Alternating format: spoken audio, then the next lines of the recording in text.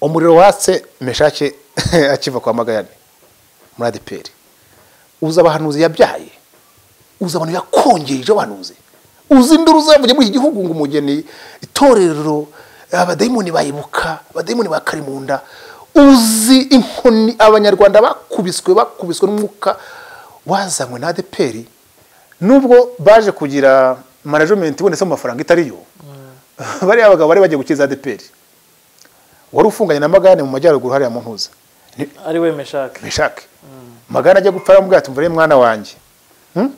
ngiye gupfa agiye w'umupfumu kandi magane yapfuye Ariko ngo afungiye muri gereza ruhengeri. Eh, ruhengeri ari kumwe na nyine arabyivugira ariko. Yaba ati mwana wanjye ngiye kugusigaho umwuka wanjye. Uzasigaho upafuminga. Adeperi iramutse ititandukanye na kiriya cyuka. Kiri imana iki gihe cya porofesi kibamo? Ubu se nkubaze ubu nimba nubwo batabivuga babicaye gutya ngo u rwanda ruzatunganirwa ariko umuyobozi sanzwe rw'imagarutse adeperi izagira umurongo ikuye hehe wihangane kuba Nta- bivuze nta mukristo buriya izaramba baza sibyo iriya komite yose. Buriya mba numva ibi- buriya ndabareba nkumva agahinda karanyishe.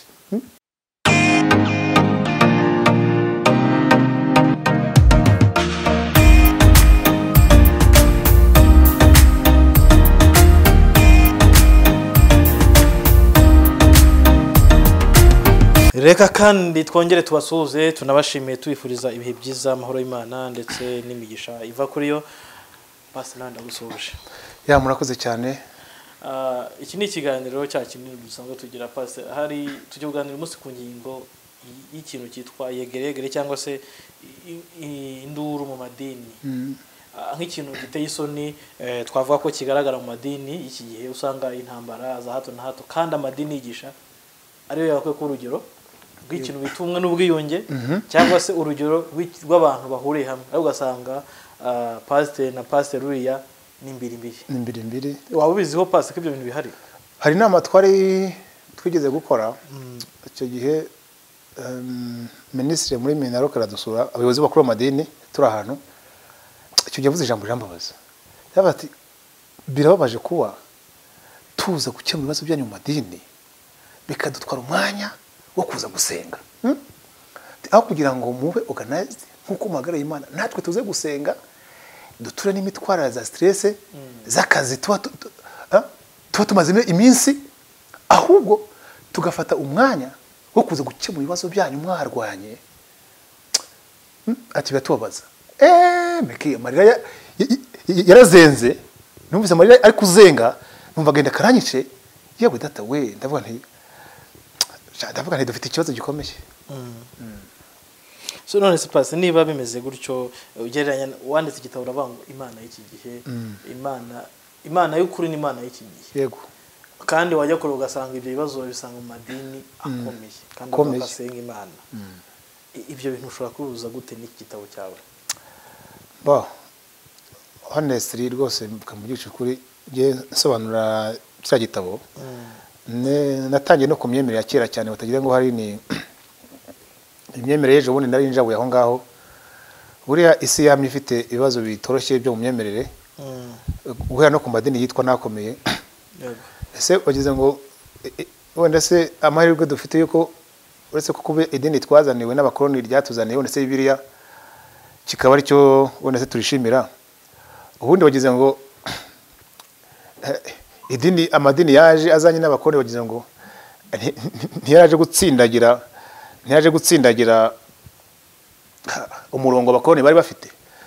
A- hari igitabo nanditse hano naje kwandikamo isengesho sorry eh, ibaruwa hari ibaruwa ikomeye cyane ya eh, ya umwami w'ubirigi yayandikiye abapasiteri n'abapadiri n'ababishopu bari baje gu- gukoroniza ah, kudukoroniza inaha ngaha. Ababwira ati nimugende hmm? nimugende ngira ngo yitwa Ah, n'abashaka bajya kuri za interineti bakayireba yitwa ngo ni discours du roi Leopold de missionnaire accueilli au Congo belge ah, mu gihumbi kimwe magana inani mirongo inani na gatatu. Mu by'ukuri eh, abanditsi babwira ngo re- mugende ngo reverandi hmm? reverandi pere pasiteri shere compatriote a- ari kubabwira ari kubaha gahunda mu by'ukuri icyo navugaga ni uko imyemerere yacu irimo ikibazo. Kandi nyine im- imyemerere ni ibiri. Hari imyemerere mu by'ukuri y'imana y'ukuri iba ishinzwe kubaka abantu kugira ngo babashe kugenda mu mugambi w'uwiteka. Hari imyemerere usanga irimo ikibazo nk'uko nkunze kubivuga igakorera mu madini se yose. Cyangwa tuvuge urugero bivuze ngo imyemerere y'imana y'iki gihe n'imyemerere y'imana y'ukuri. Ibyo bintu bishobora kubangikanya mu idini rimwe reka nkubwire. Tutagiye kure kuko amateka y'imyemerere ari very wide aragutse cyane mu isi yose. Ariko mu rwanda imyemerere yo twa- tw- tw- twakiriye reka mbere ku bakoroni kuko twaje mu madini njya mvuga n'ibindi bindi iyo yose ifite ikibazo. Yose ifite ikibazo kuko yinjiye iti yinjiye ije guherekeza ubukoroni Eh? no kugira ngo kandi ngira ngo ingaruka z'ubukoroni n'ubu ngubu ziracyaturimo no mu maraso mba ariko mvuga Hmm?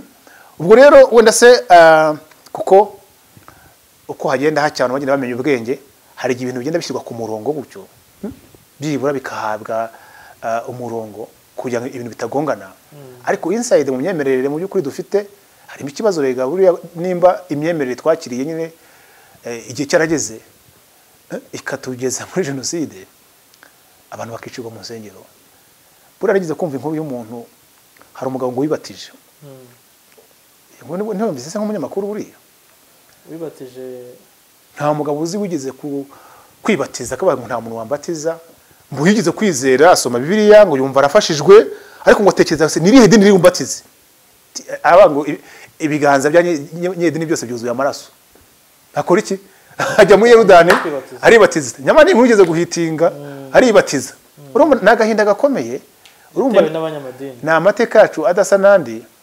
Eh, urumva ni ya madini yacu n'ubundi ya madini twiciwemo. Pasiteri akica abadiyakoni padiri akica abo yabatije abo yahaye inshingano. Ah, ariko ngira ngo hari ibyo ndi kuvuga yuko amadini arimo n'ikibazo nyine ikibazo mu myemerere kiba cyatewe n'amana y'iki gihe. Urumva ni ibintu umuntu aba asesenguye cyane nuko nkunze kwivuga n'amadini yaje kubikomfurima yicaye hamwe mu nama bamazemo iminsi itatu bari gukoranariza bati imyemerere yacu ifite ikibazo. Niyo mpamvu atabashije kurezisita niyo mpamvu eh, yitabiriye igikorwa cya jenoside cyasize eh, ahaga igihugu cyacu n'ibikomere bi- bitarashira umunsi so rero ah, gusa ikibazo gikomeye cyane nu- n'ubu kigihari. Ni uko mu- myanzuro bahawe mu myanzuro sorry bafashe. Ingamba bafashe ah, birakomeye cyane. Bikigiye buriya hari igihe mpangayika. Iyo ndebye sayide y'umurongo idini ririmo. Ikintu kinshimisha gikomeye. Kandi kikamuhuriza. Ni uko nzi ko uwiteka ari gukora. Ari gukoresha abantu batari benshi. Bari kubasha kumva ukuri. Ariko noneho iyo ndebye amadini n'imirongo abamo. N'imikorere yabo karentiri karentiri ubu tuvugana. Eh ngira impungenge nkumva na leta ndayihangayikiye nkumva n'abanyarwanda bahangayikiye. Iyo ndebye umurongo amadini arimo. Kuko nimba bavuze ngo dukoze dekarasiyo turihannye dusabye imbabazi abanyarwanda n'igihugu. Noneho ukareba na nyuma ya dekarasiyo umurongo bakirimo usanga ya sipiriti ya sipiriti ya destruction yo gusenya no kurimbura. Ntaho yagiye. Niyo mpamvu ubona intambara zikiri mu madini idini nko kumva ngo abayobozi bashwanye abandi bareganye sibyo abandi bafunganye abandi byo barashaka kwicana. Mu by'ukuri ugasanga ni ikintu kibabaje cyane kandi rimwe na rimwe bati abantu ko twari tuzi ko bakijijwe cyane. Ari abanyamwuka ariko Ari abanyamwuka. barwana buriya kamubwire hari ibibazo bitazigera birangira. Hmm? abantu badatega amatwi ibyo turi kubabwira. Kuko ibyo ni kuvuga ubu ubu ngubu si igenda bivuga. Hmm? tuvuge nkawe nkawe noneho Tu- tu- tugiye wenda hafi. Yego. itorero rya depero rizinzi ko nawe wanarisengeyemo cyane rwose ni byo twa- twakuriye ibibazo bimaze imyaka myinshi. Uyu munsi ubona umuti cyangwa se ikibazo cy- cy'iri torero ari ikibazo kiva ku ki pastor? Cyakemuka gute? Na cyo uragihuza gute n'imana y'iki gihe n'ibi bintu byose tuba tuvuga. Wabi- wabihuza buri ikintu cya mbere eh, ngewe urabizi ko buri munsi njya ku mateka. Hmm? ndabanza nkajya mu mateka. Buri ikintu cya mbere adeperi ugomba kumenya yaje iti ese abantu bazi ngo adeperi wa mugari yavuye mu ijuru iraza kubi- yikubitaho ngaho? Buriya mu gihumbi mu- mu- mu- banza ari muri za mirongo ine hmm? adeperi yaje kuyoborwa ubundi icyitwa adeperi uwagifunze ni umugabo witwa pasiteri sanzurwimo niyo wayifunze. Niwe wayifunze. Kuko mbere mbere ntabwo yitwaga adeperi mbere eh, yitwaga association d'entraide des églises de Pentecôte au Rwanda. Eh? icyo gihe yayoborwaga n'umugabo witwa Kapitura Gabriel. Kapitura Gabriel ni we wayoboraga uwo muryango witwa association des entraides des de Pentecôte au Rwanda. Eh? noneho rero ah, icyo gihe icyiciro cya- cyayo cyabaga hari igihundwe eh, mu kibazo cyitwa cyangugu. Noneho rero leta muri mirongo inani leta ya habyarimana ya- yasabye yuko uh, icyiciro cyava mu gihundwe kikaza mu mujyi wa kigali. Hmm? Noneho kapitura yari umusaza yisaziye kandi wari ugihagarara icyo gihe yumva ntiyabishobora Hmm? noneho hari umwana umwana w'umusore witwa rero Nsanzurwimo yari avuye kwiga mu Bubiligi Hmm? muri za mirongo inani kwiga ibijyanye n'iki kwiga ibijyanye simbizi neza ariko ngira ngo harimo na, theology Hmm? yavuye kwiga amasomo harimo na theology je pense Eh? noneho ariko ntabwo ndi kubihamya neza ko yavu- ya- ya- yavuye kwiga n'amateka twajyaga twigishwa gutyo na mbere rwose tukiri muri ADPR noneho avuye kwiga ah, Gabriel ati mwana mwana wanjye rero n'ubundi urajijutse genda utugarire i- Kigali Hmm? aragenda aza i Kigali araza ahagararira nyine mu- mu- muri iyo nama. Hanyuma rero ah, hari ikintu yakoze Nsanzurwimo Nsanzurwimo icyo gihe yahise akora eh, yahise asura amasosiyasiyo ayo ngayo tumaze kuvuga aho agiye ari mu gihugu hose hatandukanye. Nubwo icyiciro cyari hariya. Hmm? hanyuma amaze kuyasura rero icyo gihe bahise ba- ayasura areba ubuzima bwayo asanga ngo afite ikibazo cy'imyemerere itandukanye. Bamuga n'abantu bahariya za gihundwe ntibajye bahura no mu mutara ntibajye bahura n'ab'i kigali agasanga imyemerere yabo ntabwo iri guhura neza. Nyuma aravuga ngo ariko- mwashyizeho twashyizeho ntuza ikaba imwe abagira inama nk'umuntu warijutse eh, ikaba itorero rimwe. Hmm? yego. Nibwo rero ya association hmm? ya association d'entraide des églises de Pentecôte au Rwanda mu gihumbi kimwe magana inani ngira ngo hari na mirongo inani na kane yaje guhinduka association hmm? des de Pentecôte au Rwanda. Kumva? Aho rero amaze kubyara ADPR urumva ADPR asa nkaho ayibyara ariko iturutse ah, muri izo organisation z'abo basaza ba mbere ba Kapitura niyo mpamvu usanga isa nkaho imwitiriwe ngira ngo uh, yahise afatwa nk'inkingi ya ADPR ikomeye cyane. Hanyuma rero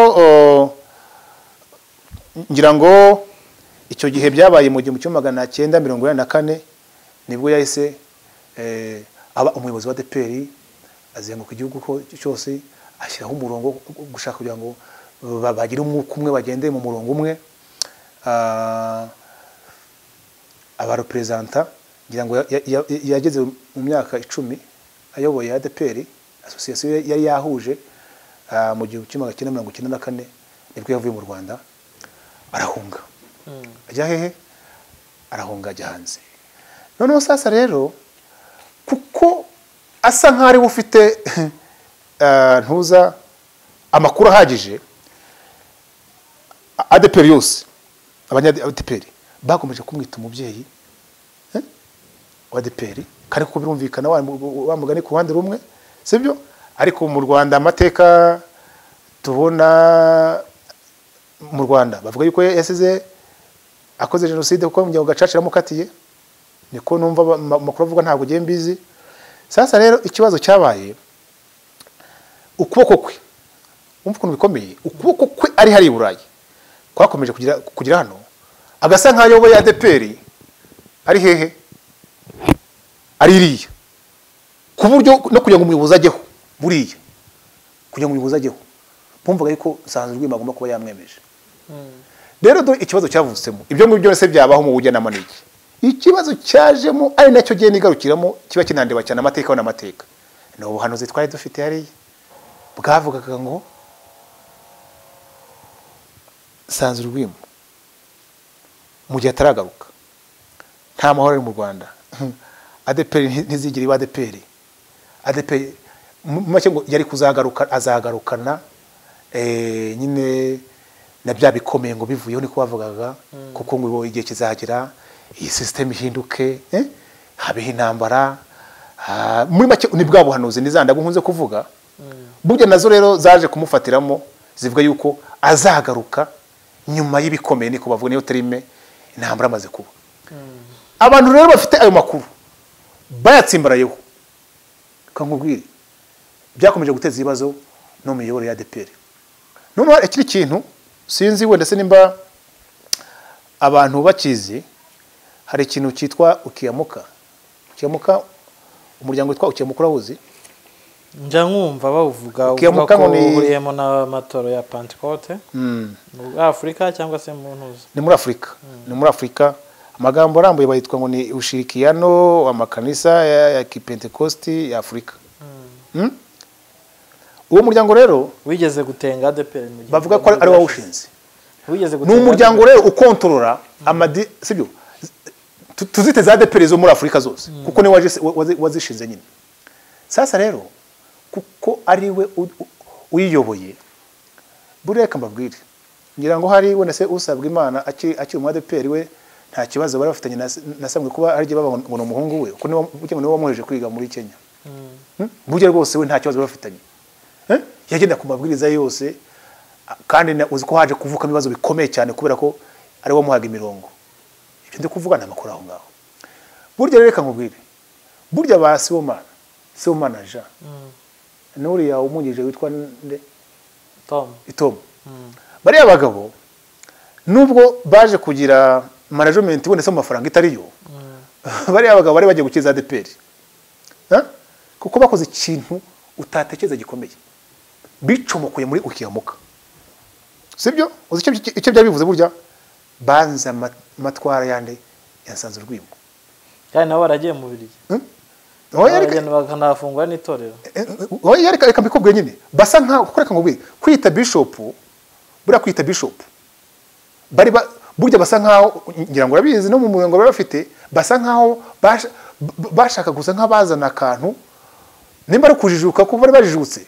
Basa nkaho bari batangiye kuzana ikintu ki- kiri tofauti mba ariko mvuga. Kuko reka nkubwire nubwo urimo ku- kuvuga gutyo. Kuki babavanye se muri mu- mu- muri ukiyamuka? Barabatenze bavuga ko ngo ari kubera imyitwarire yabo itari myiza.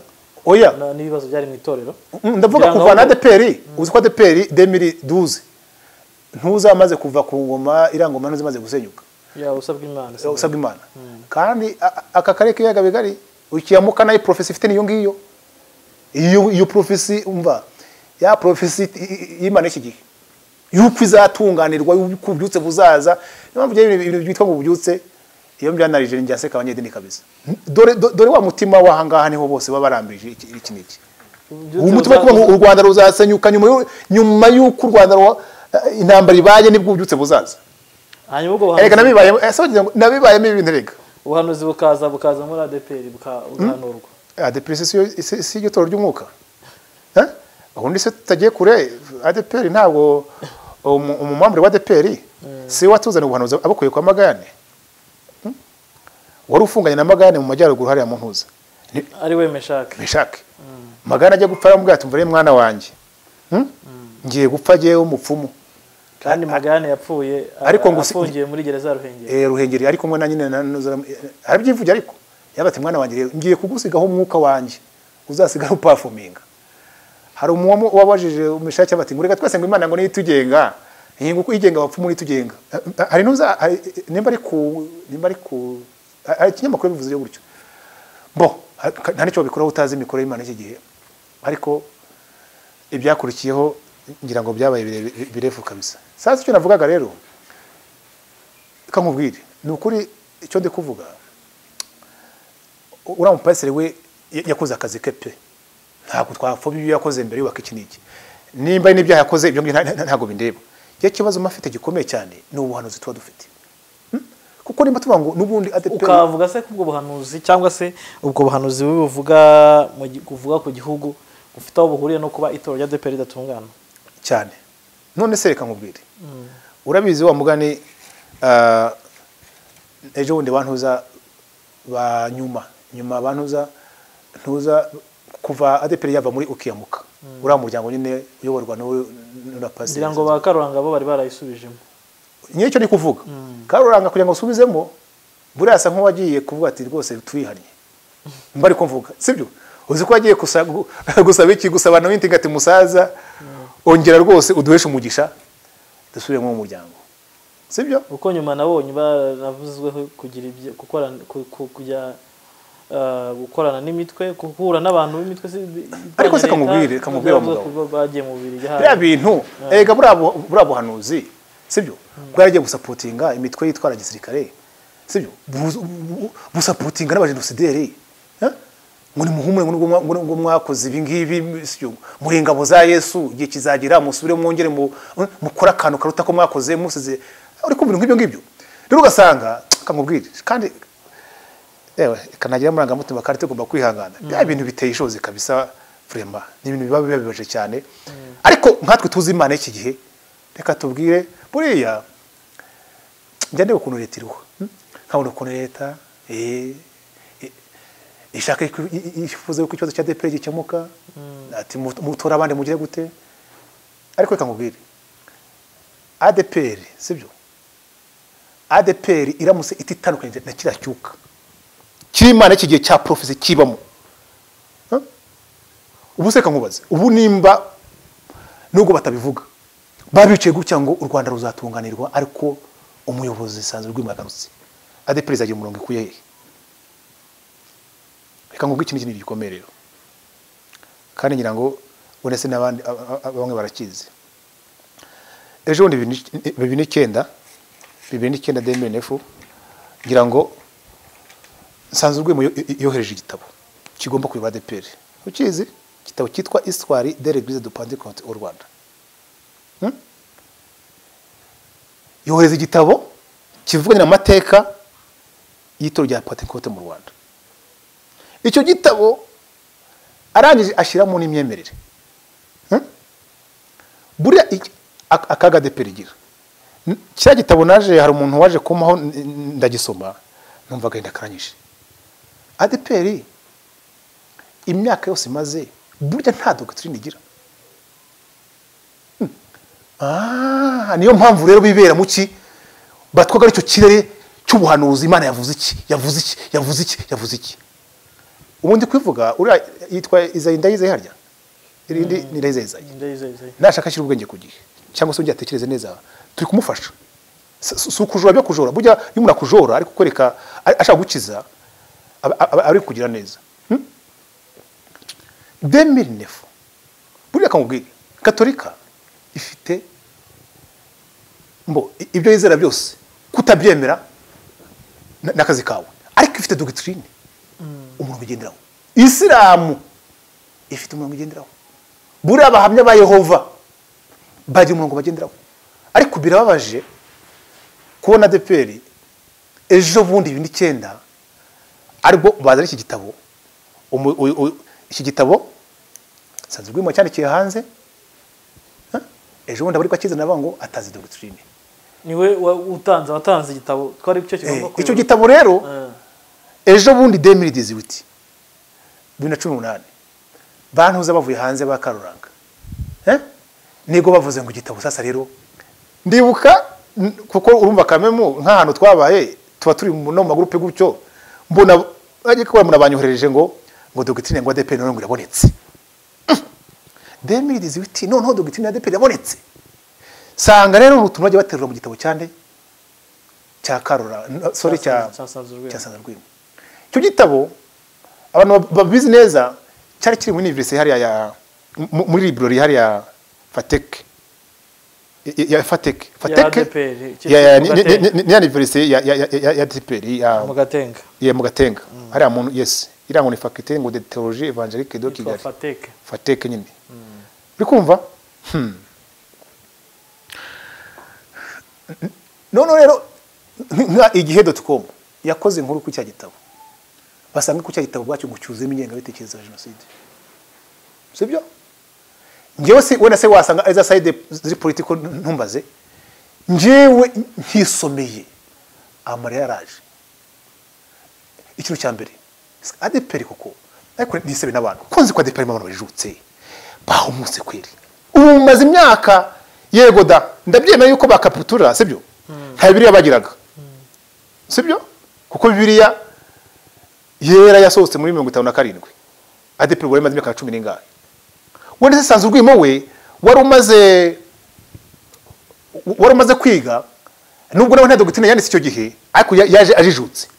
Ariko kuva jenoside yarangira nta muntu umwe adeperi ufite umwuka wera wize ushobora kuvuga ngo dore dogitine noneho ako kantu nabonye muri mesaje nyine urabona iki gitabo bibiri na cumi n'umunani kimaze kuza ba karuranga bakizanye.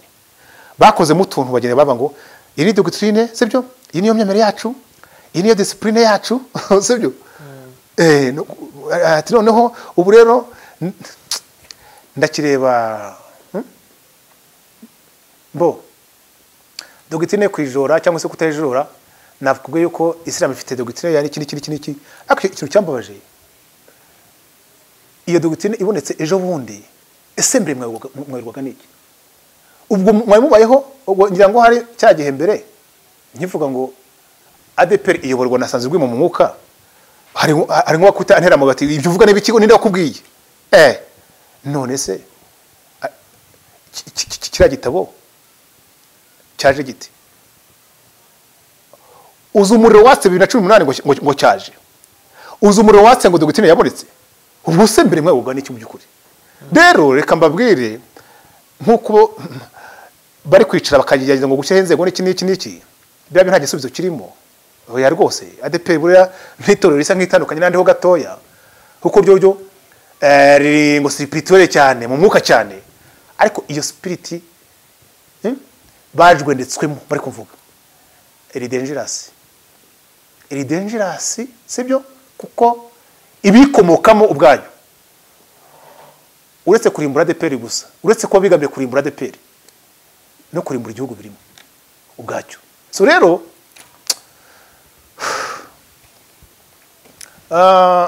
wenda se icyo kibazo adeperi nabaye yuko igisangiye ni amatorero yandi kuko amatorero menshi cyane nta dogitine agira usanga baba ngo ngo dogitine yacu ngo ngo twizera yesu ngo nk'umwami n'umukiza ngo wadupfire akagira gute akagira gute?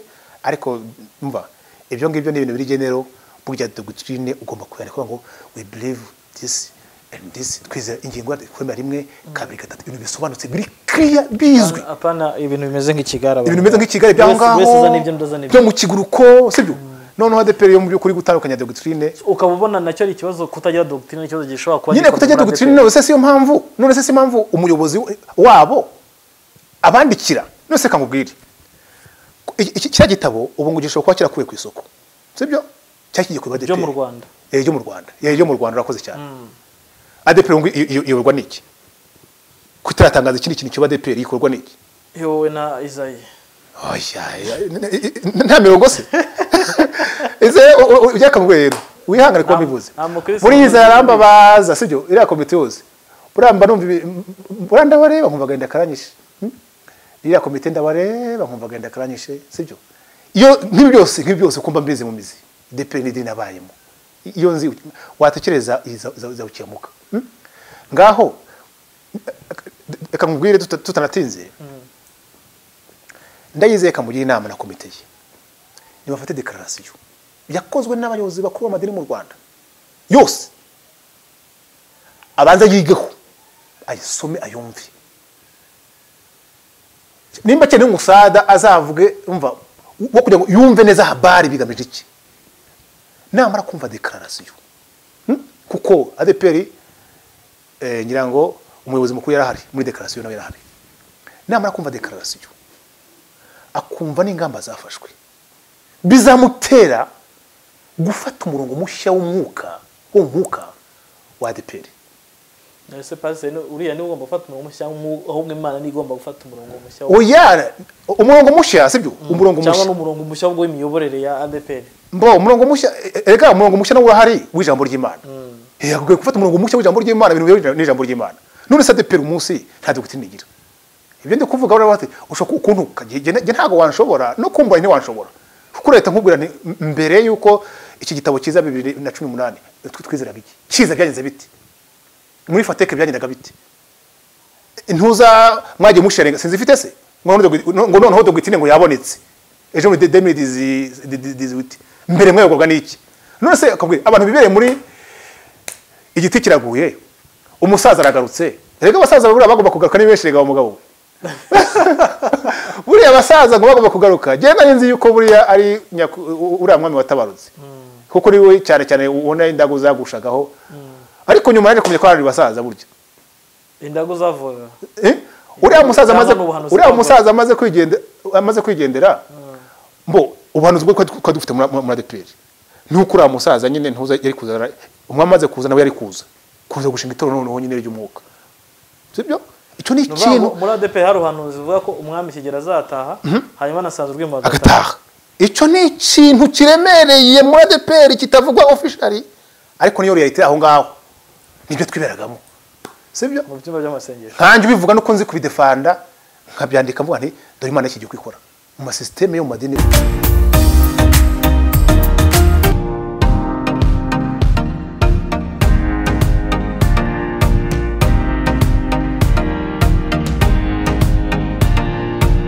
Uriya mwami amaze gutanga rero?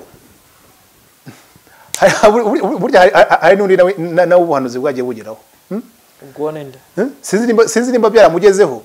Ariko disi nimba ari byo byamushyizemo confidence akumva yuko wa mugana azafata igihugu byanze bikunze uriya musaza uyu nguyu ufunze bafashe ejo bundi rusesabagina.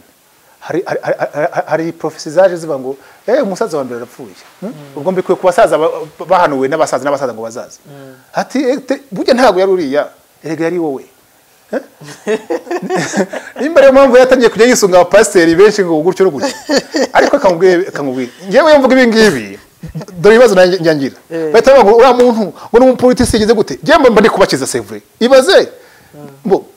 Sinzi nimba ibyo yakurikiye ko mu by'ukuri ariko profesizo nk'umuntu uba muri muri mu- mu- muri ntuza yabyo ndabizi muri firidi yabyo. Ndabizi ndabizi ko byavuzwe.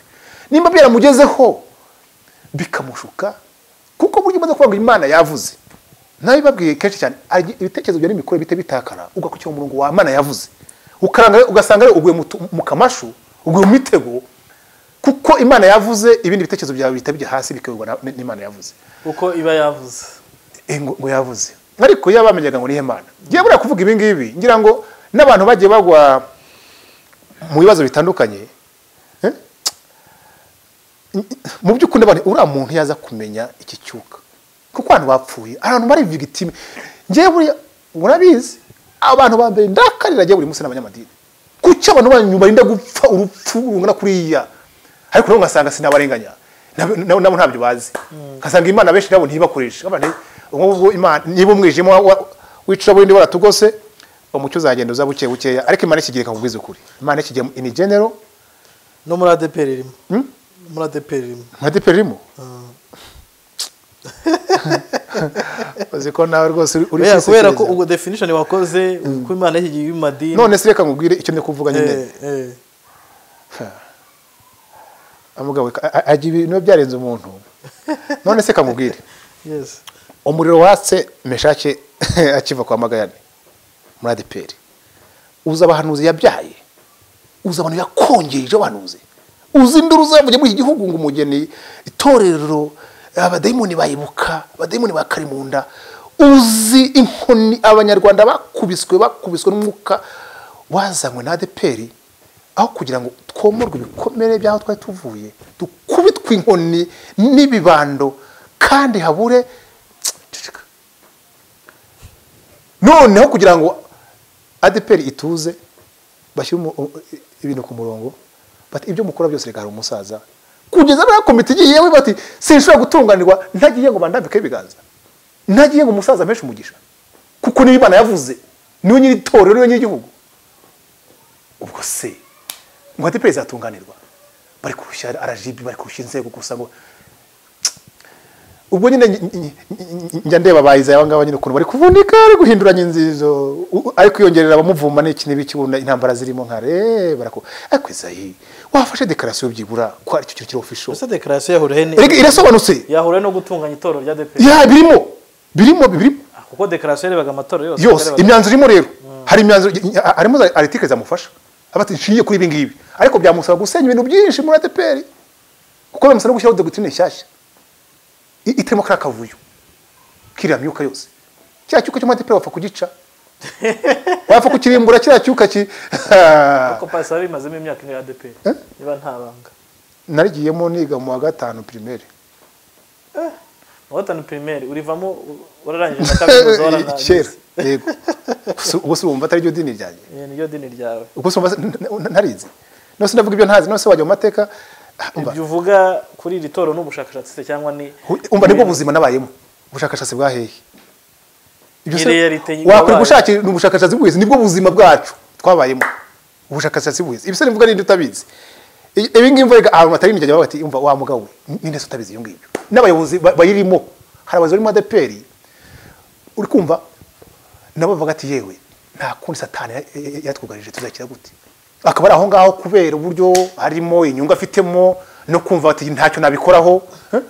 Buriya akabwire ubuyobozi buriya ngewe ni cyo navugaga. Ngewe ntakubeshye nigeze ku hari igitabo cy- cyitwa ijuru ryawe nagihaye ntuza sibomana. Sibomana- nyamara ya- ya- ya- yarajijutse uriya mugabo. Uriya mugabo nubwo management y'amafaranga wenda se ngo ariho hajemo ibibazo. Uriya yatangiye kuzana imyumvire no kuvuga ngo bishop agasa nkaho adaranje ibintu bya mbere. No kuba yashingutse muri kiyamuka. Iyo akomeza umurongo yari afite uriya mugabo maybe simise ntera y'akarongo maybe hari change ari kuzana. Niyo mpamvu bamurwanyaga ngo ari gutanga sisiteme ngo adeperi iki n'iki n'iki n'iki kandi umuntu utazata sisiteme ya adeperi kuko adeperi ishingiye ku kintu kibi. Fondasiyo bita bavuga ngo eh, ni umusingi wa mbere ngo bwa butumwa bwa mbere ngo iki n'iki n'iki n'iki ererererere bivuze ko yuko itazigera itu uzi icyo bavuga? Ntizigera itunganirwa mwenyewe wataraza. Mwenyewe ni nani? Ni mwenyewe. Se hari undi nyine wa wundi wa wundi ubayoboye. Bivuze ko umwuka mubi cyangwa se intambara ADPR umusingi ni Nsanzurwimo sanzwe murwe ubwe simwise umwuka mubi. Sipiriti imuriho. Hmm? sipiriti imuriho. Sibyo? Simvuze simvuze imurimo mba ariko mvuga. Ah. Iriya sipiriti imuvugaho. Iriya sipiriti ivuga ngo ni we ni we ni we ni we. Iriya yoriyanta abantu ngo ni we. Niwe ni we ni we. Buriya kamubwire. Komite izashaka kwiba adeperi izavuga ati twebwe sasa Hmm? dushingiye hmm, kuba adeperi itarabashije kurezisita muri jenoside na yo igakora jenoside nk'andi madini. Igahagarara kuri stade amahoro bagakora dekarasiyo. Bakavuga ko batigeze bavuga ubutumwa buhindura abantu kuba abakristo b'ukuri nabo babwijana ubutumwa butuma bahinduka abakristo ku izina gusa. Sibyo? Niko dekarasiyo ivuga. Bavuga ko bagiye gushyiraho ngo ingingo gatanu bavuga ngo bagiye gushyiraho modire imfashanyigisho Ba- bashake na za modire nshyashya. Sibyo? Nshyashya. Zigiye kubyara abakristo bashya. Ibyo bintu batarabikora. Ngo ngo ngo kubaka ngo ku- rufatiro rwa mbere. Ngo rwa ADPR ya mbere. ADPR ya mbere si kiyetse niki ADPR nta dogitine igira irimo icyuka cy'Imana y'iki gihe sibyo? Kizagomeza kugira kuriya kare kababwire ikintu ki- ki- kinateye ubwoba none nk'uko pastor mbabwiza ukuri. Nuko n'impande ivuze bari muri biriya nta n'umwe wajya mu ijuru. Abakristo se? Biriya barimo nyine. Barebana kiriya cyuka abakristo nibo batajya mu ijoro bajya ba- bajya mu ijuru ryanditse ubu se magana yazanye icyuka cyuka cyakira sibyo ukaba ufite umwuka wera. Ubu se wakwakira umwuka wa magana ukakibonye na biyoro ni umunsi ukaba u- u- u- ukibitse imbarayeho eh? ukaba nta dogitrine ugira?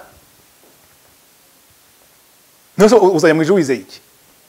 Kwizeye se umukavuyo mbo mbivuze gutyo ariko reka nkubwire sibyo adepe nayivuyemo nta nkibamo mfite minisiteri iri ku- ruhande i- ivugabutumwa nta nubwo nzasura muri adeperi sibyo ariko reka nkubwire meki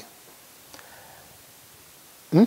ni sipozisiyo buriya uwampa adeperi sibyo akayima imyaka ibiri. Hmm? akayima imyaka ibiri. Naba nyishyize ku murongo jyewe uzi icyo nakora ariko nawe urumva ugiye gusenya nk'uko uri Um, icyo nakora yewe? Nafata abayobozi nka magana atanu cyangwa magana atandatu nkabajyana ahantu. Sibyo? Bazamara nk'amezi atandatu. Nkabanza nkabakaropamo ibi bintu byose amashirika yose bonse. Ya biriya bintu bikabashiramo. Tugashyira dogitrine ya kirisito ubutumwa bwiza. Ah, ah, ari nk'akantu nasomye ngo kwiye dogitrine nshyashya ngo abakristo ngo ngo bine ngo ngo ngo bw'inyongoza ngo bw'inyongobeza bugingo utuntu aba bantu kuri ntabwo bazi kristo. Reka nabisomye ejo bundi nabisomye eh, eh, hari na- hari n'abantu twari tubiganira gutya bo muri see? Eh? twumvikana umuri kujya hehe demiri diziwite ejo bundi. Nta dogitrine mugira. None muri kuvuga ngo ADP ngo iza- izareka kugira ibibazo. N'ubuhanuzi bubamo n'iki n'iki? Ngewe buri wabama nk'imyaka ibiri. Nafata amezi atandatu. Nkafata nk'abayobozi nka magana atanu guhera ku rwego rw'intuza kugeza ku ku mirenge. Umuntu akaza akaburutsa biriya bintu bamize. Mu izina ry'ubupasiteri ariko mu ijambo ry'imana wenda tusa nk'abagera ku musozo. Twarangiza tukaza tugakora ibiterane dusa nk'abagera- ikaboneka. dusa nk'abagera ku musozo w'ikiganiro watanze umuti utagaragaza aho ikibazo kiri. Urebye impinduka ziri gukorwa muri ADPR kuba bahizayi bahinduye ibijyanye n'indembo ibijyanye n'uturere bivaho. Deje ubu ngubu ngo hari abapasiteri bagera mu barenga mu gihumbi magana atanu cyangwa se bari mu gihumbi magana atanu bashobora kuba barirukanwa. U- ubona izi mpinduka ziri gukorwa ntacyo nta muti biriya ni ibibazo byongera ku bindi. Birase bimaze iki? Nka ADPR ADPR se ishu ihari niyo wageneye amafaranga cyangwa se n'iki n'iki ni iki? Kuba no kuba no kongera ibibazo ku bindi. Icya mbere cyo ntabwo bashobora gupanga ntuza ngo ibe nka katolika. Hmm?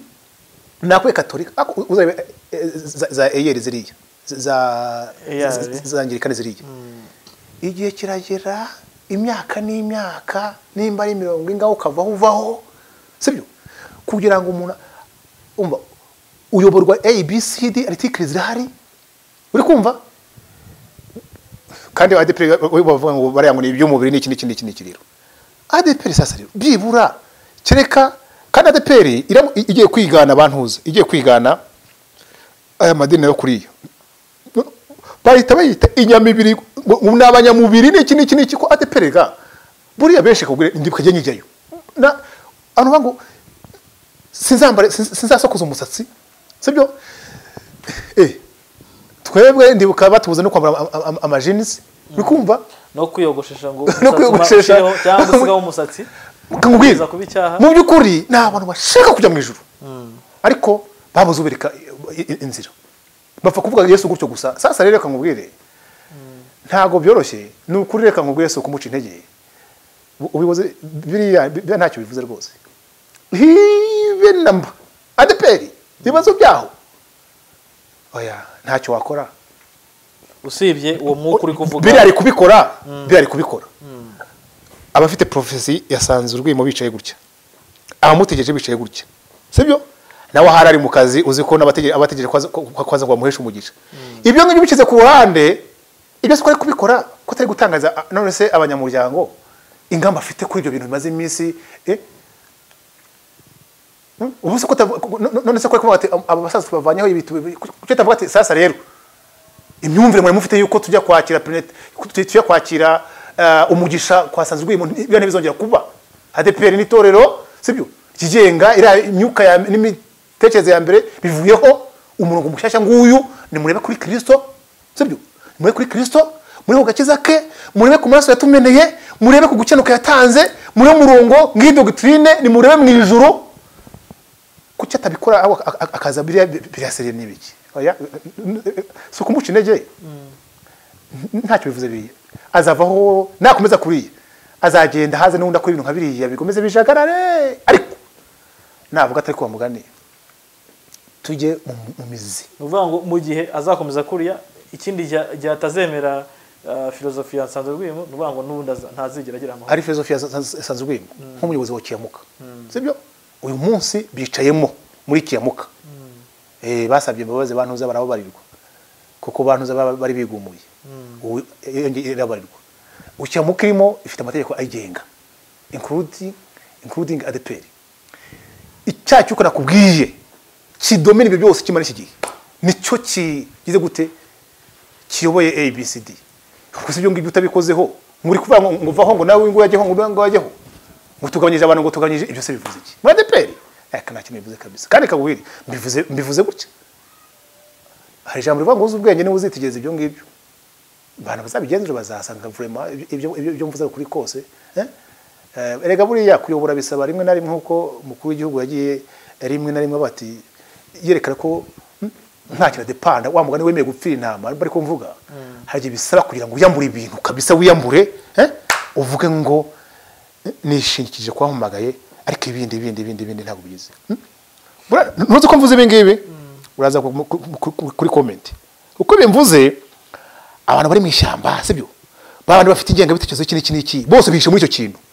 Ubu urimo bafite hey wowe uderererere ariko ntihahura n'abanyakuri baba bati dore nyamara imbere n'imbere wa mugani ibi bintu iki cyuka kidashize twazavuga gute?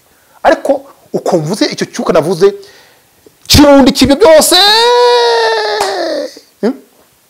umwijima wose ukizemo ukiciyemo n'abafite imigambi mibisha n'abategereje byose kandi uzi ko ndibuka rimwe ndi kwigisha abantu nti ibyo bikomeye muvuga n'izo namba ntabwo zaba.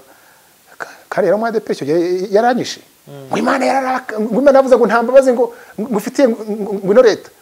Ngo nuzajya kubisengera ngo biveho ngo imana izamuhitana ntiyanyishe se? Kandi abantu ni umuntu w'imana. Icyo cyuka se gituma abantu bashaka ko amaraso agiye kumeneka ibyo bintu birebire bifite amasheni maremare maremare maremare maremare ibyo ngo byamazwa nuko ngo ari kuvugura amakomite ni kiriya kare kare ibyo ntako cyabindi rwose. Nimba koko bemera yuko ADPR atari kampani atari kampani y'ubucuruzi cyangwa se n'ikiki bakavuga ni itoro ry'imana. Nibafate mezire ziri spirituel sibyo? Bakize ADPR kandi gukiza ADPR ni ugukiza abanyarwanda ni ugukiza igihugu. Ya pasiteri reka dusoze ikiganiro cyacu nkubwira ngo wakoze. Yego namwe mwakoze. kubw'umusanzu wawe n'inama utanze kuri adeperi ngira ngo buriya barabyumva. Kandi Ni- ni buriya- opinion yawe utanze. Ni opinion yanjye kandi buriya Eh. ADPR buriya n'uwo ari wese tujya tuganira. Ariko rwose ntabeshye nk'abayobozi bashyashya bo. Mbondibuka nka komite y'abantu uza twajya tuganira komi- aba- aba- aba ari abayobozi ba kome. Kome niyo tuzanye eh, tuganira ariko ntuzo ntabwo tuziranye ntabwo twari tuzanye gusabwa imana.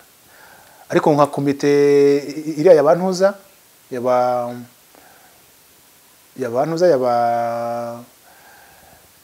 yabaja basibomana Mm.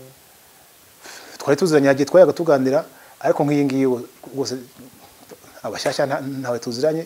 N'undi rero ushaka bazaze tuganire kabisa. Jye bagira inama cyangwa se bo ya opinion yanjye sibyo? Nk'umuntu wigenga uri aho ngaho ku ruhande simbivuze mu izina y'icyo ari cyo cyose. Ni nka christophe ukora analize nk'umwanditsi w'umushakashatsi Eh, rwose nta muntu wantumye nta n'indi zina rindi mpagarariye. Ni nkanjye ukora analize nk'umushakashatsi. Kandi akababwira sevure izo nama izo nama bazumvi bakicara bagasubiza ubwenge ku gihe sibyo? Barantuze bamufashe reka. Bamufasha nura musaza. Ni- niyo ushyiraho umuntu ibinyoma na byo uri kumu- kumunaniza. None se nk'imyaka bamye bitega ngo araje araje araje araje birabaye birabaye birabaye. Icyo kinyoma kikaba kiri ahangaha kikazenguruka ibura kikazenguruka hehe ariko abantu bavuye mu mwijima kweri eh ko imana y'iki gihe abantu benshi bamaze kwimenya. Bagafata umurongo muzima w'umurongo wa kristo ha? rega igihe cy'ububyutse bavuga ubu wa ki- kiri kuza? Ububyutse ni iki? Ni uko umwijima wose urangiye nuko kristo ahishuka ubutumwa bwiza bukamenyekana? So rero ndumva ikindi ntabwo ari ADPR yonyine nk'uko twari tubivuze.